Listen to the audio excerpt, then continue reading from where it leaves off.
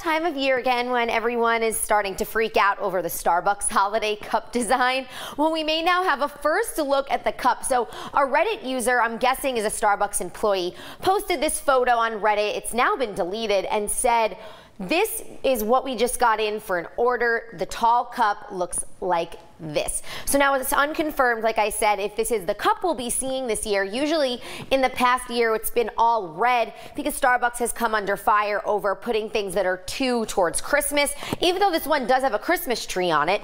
So I guess we'll see what happens. We're going to find out the new official cup design in November.